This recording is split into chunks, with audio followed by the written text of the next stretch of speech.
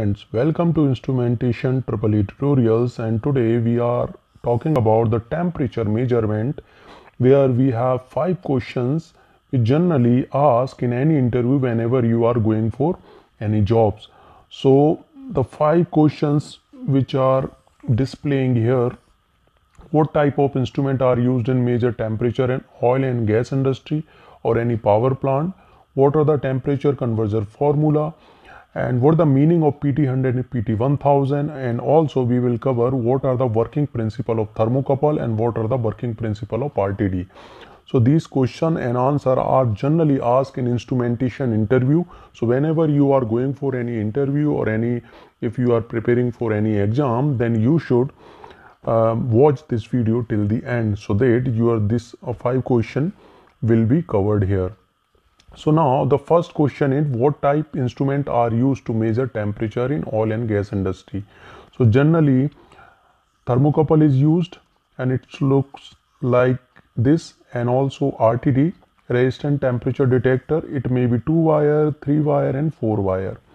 And also some gauges temperature gauges are also used which is generally why bimetallic temperature types of used and some optical pyrometer is also also used whenever there are uh, some temperature is measured uh, beyond 1300 degree or some safety is required and where thermocouple and RTD cannot be used so pyrometer is generally used and there are also some thermometer is also used so so these five types of temperature measuring instruments are generally used.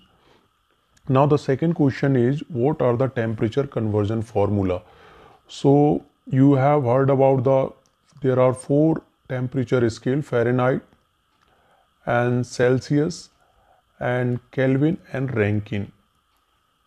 So these four generally temperature scale. So when you are going to convert Fahrenheit degree centigrade to Fahrenheit. So Fahrenheit is equal to 9 by 5 into degree plus 32. So when you have given the degree temperature in degree then you can convert this degree into Fahrenheit. So first formula that you should note in your copy. Now the second formula is your if you have given the Fahrenheit, then you want to convert this scale or this temperature into Celsius scale. So Celsius scale is equal to F minus 32 and into 5 by 9. So what the value of your temperature in given in Fahrenheit scale you can easily convert in Celsius or degree. So this is second formula. Now the third formula is when you have given the uh, scale or temperature in Celsius then you want to convert in Kelvin.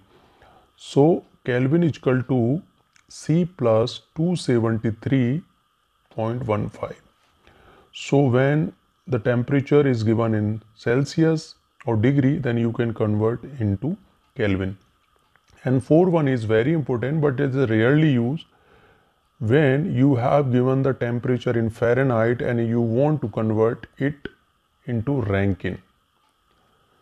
So this is the four formula. So you can learn this formula, you can learn this formula and you can learn this formula and this.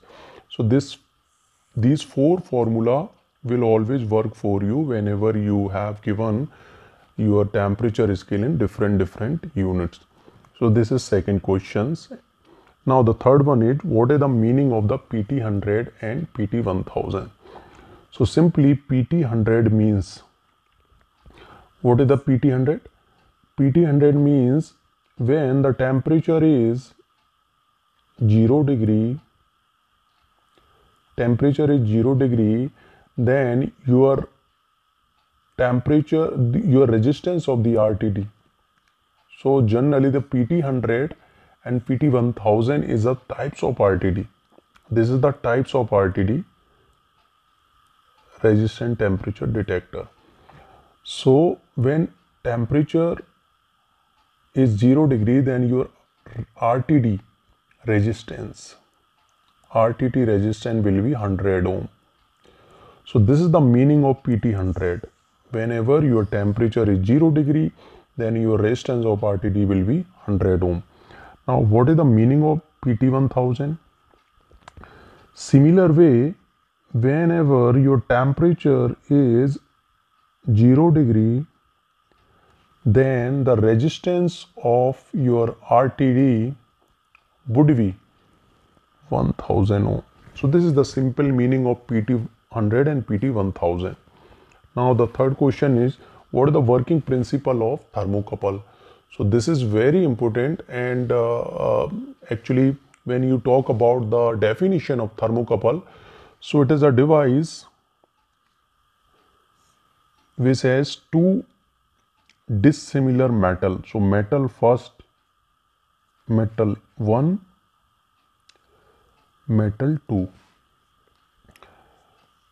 So this is the metal 1, metal 2 and this is two junction J1 and J2. So this is called hot junction and this is called cold junction. So what its principle says and how it works, what is the principle of thermocouple? So it has two junction, J1 hot junction and J2 is cool junction. So whenever the temperature difference is experienced with these two metals then it generate EMF it generate a EMF when some voltmeter or some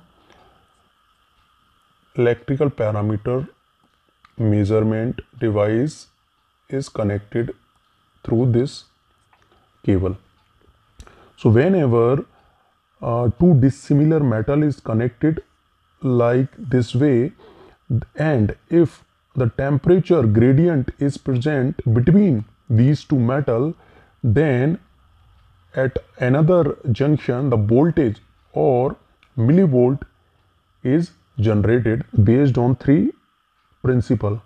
First is Seebeck effect Peltier effect and Thomson effect. So if you have not heard about the Seebeck Peltier and Thomson effect you can learn through internet so this is all about the thermocouple and also the thermocouple are K type, T type, R type, etc. Based on your application, you can select any one of them. So now the last question is what are the working principle of RTD? So RT is temp resistant temperature detector. Whenever the metal resistance of metal increase or decrease with respect to temperature. So the basic principle of RTD is whenever the metal temperature is increased then its resistance will be also increased. So this is the basic principle of RTD. So the formula of RTD is R naught 1 plus alpha delta T. So this is formula and what are the meaning of all terms? R is the resistance where we want to measure. R naught is the, if you are using PT 100, then R naught is equal to 100. Alpha is equal to temperature coefficient and it is generally for platinum ohm per degree. Okay and the alpha will be different for copper and some other metal. So this is the principle of the RTD and how it works? Whenever the temperature of the metal is uh, changed then its resistance is also changed so uh, there are three types of RTD are generally used First is 2 wire, second is 3 wire and third is 4 wire.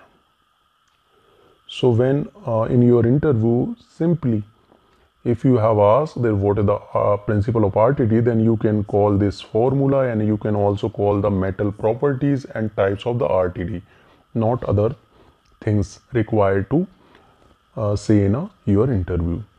So this is our five question which we have covered here.